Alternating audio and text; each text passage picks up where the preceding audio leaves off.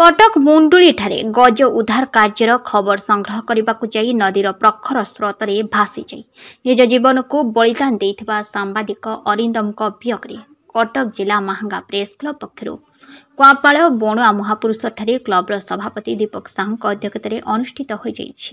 ଏଥିରେ press club ଅଧ୍ୟକ୍ଷ ସୀତାନାଥ ସିଂହ କାର୍ଯ୍ୟକାରୀ ସଭାପତି ଲକ୍ଷ୍ମୀଧର ଖୁଣ୍ଟିଆ ସଂଗଠନର ସମ୍ପାଦକ ତାପସ ବିଶାଳ ଉପଦେଷ୍ଟା ଉମାକାନ୍ତ ଜେନା ପିକେ ବାରିକ ସାମ୍ବାଦିକ ସର୍ବଶ୍ରୀ ମନୋଜ ଆଚାର୍ଯ୍ୟ ଅଶୋକ ଦାସ ଅର୍ଜୁନ ସାହୁ ଅସିତ ସାମଲ ରମେଶ ସାହୁ ପ୍ରକାଶ ନାୟକ ରମେଶ ଦାସ ପ୍ରେମାନନ୍ଦ ପରିଡ଼ା ସଂଯୁକ୍ତା ସାହୁ ଅରବିନ୍ଦ ମହାନ୍ତି ସତ୍ୟବ୍ରତ ବାରିକ ପ୍ରେମାନନ୍ଦ ପରିଡ଼ା ଶୈଳେନ୍ଦ୍ର ସାହୁ ରବିନାରାୟଣ ଦାସ ଚିତ୍ତରଞ୍ଜନ ନାୟକ ଅନିରୁଦ୍ଧ ପାଣି ରାମକୃଷ୍ଣ ସାହୁ ଦୟାନିଧି ସାହୁ ସଞ୍ଜୟ କୁମାର ବେହେରା ସମେତ ବହୁ ସାମ୍ବାଦିକ ଯୋଗ ଦେଇ ସ୍ୱର୍ଗତ ଅରିନ୍ଦମଙ୍କ ଫଟୋଚିତ୍ରରେ ପୁଷ୍ପାର୍ଘ୍ୟ ଦେଇ ଶ୍ରଦ୍ଧାଞ୍ଜଳି ଅର୍ପଣ କରିଥିଲେ। ଏଥିସହ ଅରିନ୍ଦମଙ୍କ ପରିବାରକୁ ରାଜ୍ୟ ସରକାର ତୁରନ୍ତ ସରକାରୀ ସହାୟତା ପ୍ରଦାନ କରିବାକୁ ପ୍ରେସ୍ କ୍ଲବ ପକ୍ଷରୁ ଦାବି ହୋଇଛି।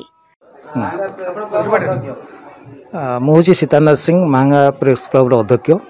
ଆଜି ଆମେ ବଣୁଆ ମହାପୁରୁଷ ପାଖରେ ଏ, ଅରିନ୍ଦମ ଦାସ ଯିଏ ଓଟିଭର ପ୍ରତିନିଧି ଯିଏ ଏ, କାଲି ସାହସିକତା ସହିତ କାମ କରୁଥିଲା ବେଳେ ତାଙ୍କର ଅକାଳ ବିରୋଗ ହୋଇଯାଇଛି ସେଥିପାଇଁ ଆମେ ଆଜି ଶୋକ ସଭା କରିଥିଲୁ ଆଉ ଗୋଟେ ଦୁଃଖ ପରିତାପର ବିଷୟ ଜଣେ ଡେଡିକେଟେଡ଼ ସାମ୍ବାଦିକ ସେ ତା'ର ଜୀବନ ହରାଇ ଦେଲା ଏ, ଲୋକମାନଙ୍କୁ ସରକାରଙ୍କୁ ଯେଉଁ ପ୍ରକାର ସଚେତନ କରୁଥିଲା ତା ପରିବାର ପାଖରେ କେହି ଠିଆ ହେଇନାହାନ୍ତି କି ସହାୟତା ରାଶି ଦେଇନାହାନ୍ତି ତେଣୁ ଆମେ ପ୍ରେସ୍ କ୍ଲବରୁ ଦାବି କରୁଛୁ ତାଙ୍କ ପରିବାର ପାଖରେ ସରକାର ଠିଆ ହେବା ସହିତ ତାକୁ ସାହସିକତା ସମ୍ମାନ ପ୍ରଦାନ କରାଯାଉ ଏବଂ କିଛି ଆର୍ଥିକ ସହାୟତା ତାଙ୍କ ପରିବାରକୁ ଦିଆଯାଉ।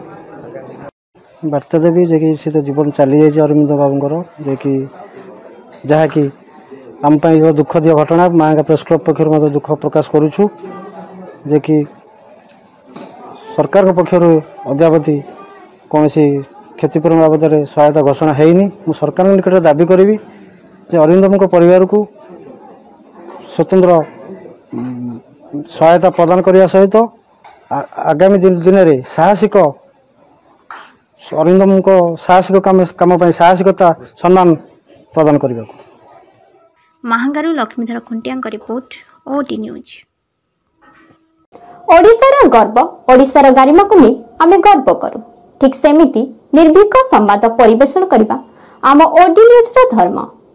ସତ୍ୟ ଘଟଣାକୁ ଆପଣଙ୍କ ନିକଟରେ ପହଞ୍ଚାଇ ସମସ୍ତେ ସ୍ୱାଭିମାନରେ ବଞ୍ଚିବା ସେଥିପାଇଁ ସମସ୍ତଙ୍କ ପସନ୍ଦ ଓଡି ନ୍ୟୁଜ୍ ଘରେ ବସି ଦେଶ ବିଦେଶର ଖବର ଦେଖିବା ପାଇଁ ଚାହୁଁଥିଲେ ଲାଇକ୍ ସେୟାର କମେଣ୍ଟ ଏବଂ ସବସ୍କ୍ରାଇବ୍ କରିବାକୁ ଭୁଲନ୍ତୁ ନାହିଁ।